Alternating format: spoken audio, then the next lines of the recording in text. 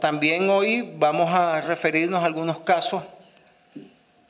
eh, muy importantes que tienen que ver con las luchas de nuestro pueblo trabajador. Eh, el Partido Comunista denuncia, denuncia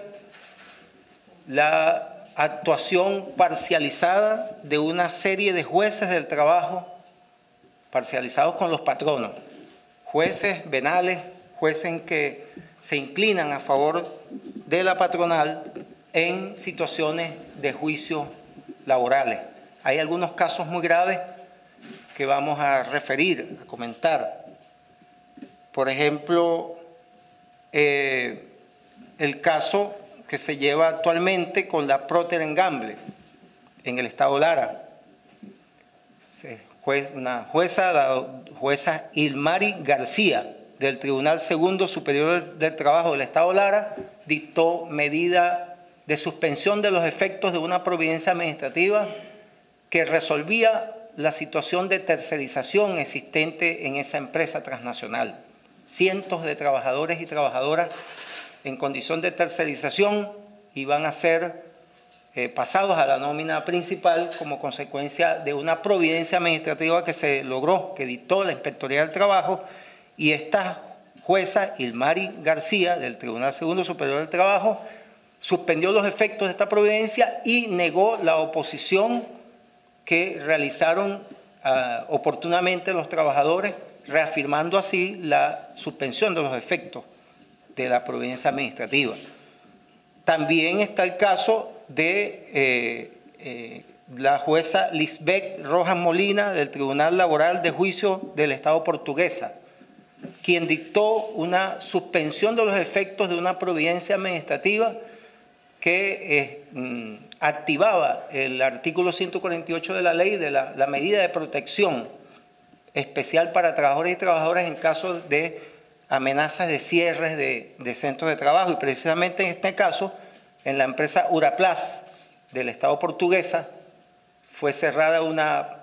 de manera fraudulenta una planta de producción de cable. La inspectoría dictó una provincia administrativa protegiendo el derecho al trabajo y la jueza dictó la suspensión de los efectos de la provincia administrativa, igualmente que en el caso que ya comenté, y también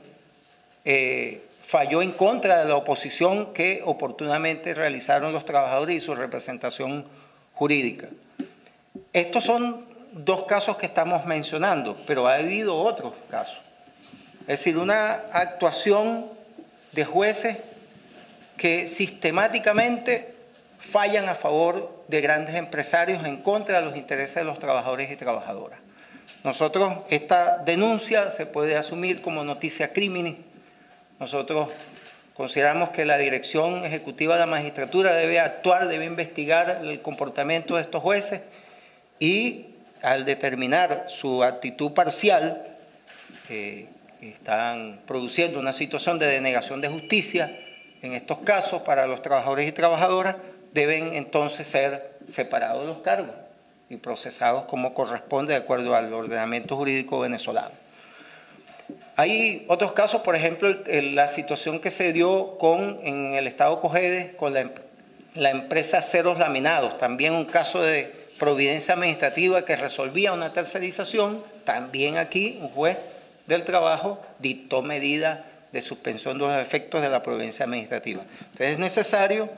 que se ponga freno a esta situación y los trabajadores y trabajadoras se deben mantener firmes combatiendo contra estas actuaciones que denotan, una vez más, cómo el Estado venezolano en esencia sigue siendo un Estado oligárquico burgués que a la hora de conflictos mm, obreros patronales tiende a favorecer, tiende, tiende a colocarse al lado de los explotadores.